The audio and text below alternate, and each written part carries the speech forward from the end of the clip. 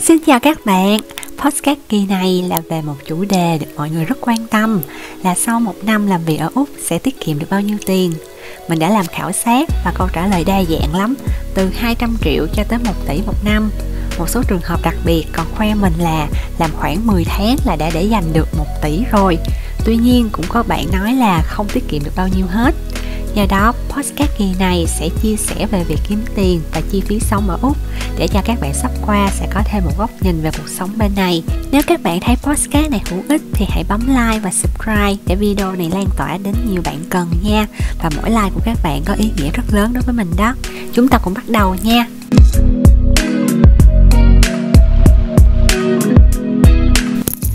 Đầu tiên hãy cùng mình tính xem một năm trung bình kiếm được bao nhiêu tiền nha. Lương tối thiểu của full time với part time là 20.33 đô một giờ. Còn casual, dịch nôm na là làm việc thời vụ thì sẽ là 25.13 đô một giờ. Sự khác biệt giữa công việc full time, part time và casual thì mình sẽ làm trong podcast về luật lao động Úc nha. Mình sẽ nói kỹ hơn trong podcast đó. Tiền lương này là mình cập nhật tới tháng 7 năm 2022 thì sau đó là có thông tin là Úc đã chuẩn bị tăng mức lương tối thiểu này lên rồi. Và thông thường các bạn qua Úc với visa 462 thường sẽ làm công việc là casual để mức lương được cao hơn. Một tuần ở Úc sẽ là 38 tiếng và nếu làm nhiều hơn thì bạn sẽ được tính overtime là làm quá giờ và mức lương lúc đó sẽ được nhân 1.5 cho tới 2 lần mình sẽ tính mức lương tối thiểu cho một năm thì sẽ lấy 25.13 nhân cho 38 giờ một tuần và nhân cho 52 tuần. Như vậy sẽ ra khoảng 50.000 đô. Và các bạn sẽ chịu thuế là 15% trong Working Holiday Visa. Và khi làm vượt một số tiền nào đó thì các bạn sẽ phải chịu thuế lũy tiến cao hơn. Nhưng mà mình ở đây mình lấy mức thuế là 15% cho dễ tính ha.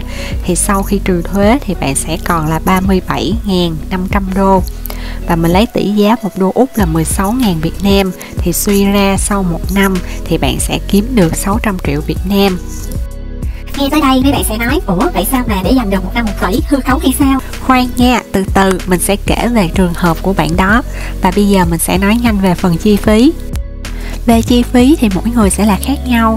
Ví dụ như là mình ở Melbourne, nhưng mà mình ở xa trung tâm, do đó tiền nhà của mình là khoảng 550 đô một tháng. Còn bạn mình thuê ngay ở trung tâm thành phố luôn, thì do đó tiền nhà sẽ cao hơn là 1.200 một tháng. Và mình có một bạn khác nữa, làm farm được bao chỗ ở luôn, thì do đó không có tốn tiền nhà mình lấy ví dụ như vậy để các bạn thấy là như bạn làm farm thì một năm bạn đó sẽ đỡ cái phần chi phí tiền nhà hơn bạn thuê ngay trung tâm thành phố, tới hơn 12.000 đô lận. Về tiền ăn thì tùy là các bạn ra ngoài ăn hay tự nấu ở nhà. Tất nhiên nấu ở nhà thì sẽ rẻ hơn nhiều. Mình sẽ lấy ví dụ của mình để các bạn dễ hình dung nha mình sống ở Melbourne và mình tự nấu ăn. Cuối tuần mình có đi chơi với bạn bè, nhưng mà mình không có đi những chỗ mắc tiền và mình sống cũng tiết kiệm nữa.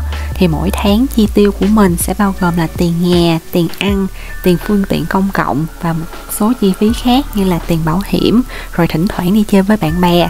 Thì do đó mỗi tháng thì mình sẽ chi tiêu dao động trong khoảng từ 1.200 cho tới 1.500 như vậy, sau khi trừ đi chi phí thì một năm sẽ để dành được khoảng từ 300 cho tới 400 triệu Việt Nam. Thì đây là mức tiêu chuẩn mà theo khảo sát của mình, thì hơn 60% các bạn đi visa 462 có thể là đạt được cái mức để dành này.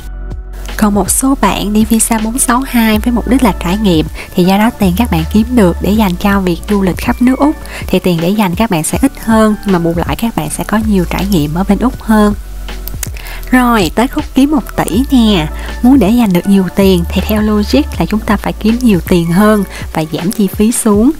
Để kiếm nhiều tiền hơn thì có thể làm nhiều cách ví dụ như là làm thêm giờ hoặc làm việc được trả lương cao hơn. Còn giảm chi phí thì các bạn có thể lựa chọn như là tự nấu ăn hoặc là chọn công việc ở những nơi bao ăn ở luôn về trường hợp của bạn chưa tới một năm nhưng mà đã để dành được 1 tỷ rồi, là bạn đó là hướng dẫn viên du lịch, lương được trả là 50 đô một giờ và bao ăn ở.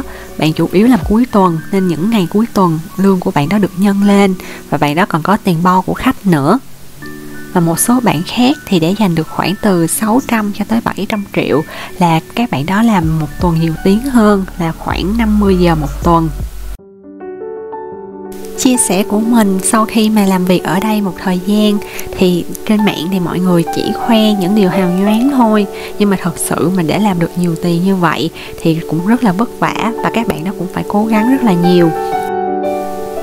Như làm việc trong xưởng thịt, tuy là lương trả rất là cao nhưng mà bạn phải làm trong kho lạnh và không phải bạn nào cũng có thể chịu được cái nhiệt độ đó. Và tính chất công việc thì các bạn cũng phải thường xuyên khiêng đồ nặng nữa bạn của mình làm trong xưởng thịt chia sẻ như vậy với mình thì rất là thương bạn đó luôn bạn đó không có bao giờ lên mạng mà kể khổ hết, tại cũng sợ gia đình lo lắng nữa tất nhiên, kiếm được bao nhiêu tiền còn phụ thuộc vào khả năng của mỗi bạn nữa và mình hy vọng podcast này sẽ cho bạn thêm một góc nhìn để các bạn có thể là chuẩn bị kỹ hơn khi mà các bạn qua úc Cảm ơn các bạn đã xem tới cuối video. Hẹn gặp các bạn trong video sau nha.